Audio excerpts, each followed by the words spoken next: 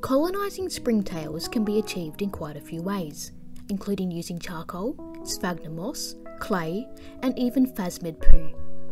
At the beginning of our business, Cassie's Critters, we used to make our colonies using moist sphagnum moss. But ever since that sphagnum moss shortage that occurred in 2021, we have been using natural clay harvested from our local water sources. In the past, we have also trialled using store bought clay, but the colonies did not thrive at all, most likely due to some unknown chemical within the product.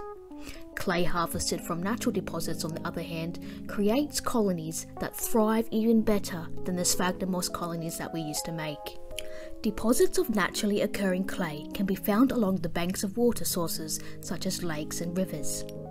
We either collect our clay from the banks of Lake Boga or the banks of the Murray River.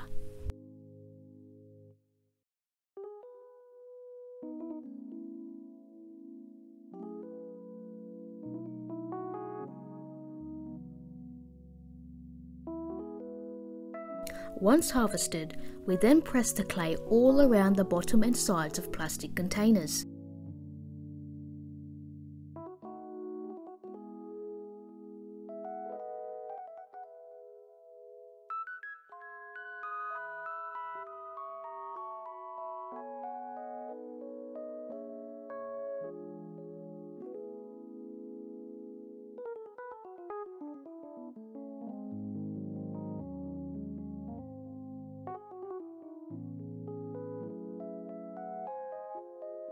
And then we sprinkle some brewer's yeast on top.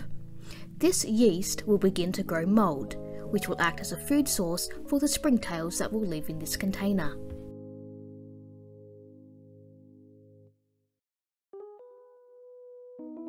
We then collect springtails from our isopod colonies.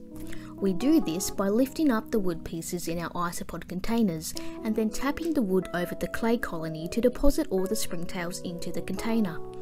Before closing the lid, we make sure no isopods have accidentally fallen into the container with the springtails. Due to how small springtails are, ventilation holes are not recommended, since they will escape from these holes. To give the springtails a sufficient amount of oxygen to survive, all we do is open the container once a week. And this is usually done when we give the colonies their weekly mist of water.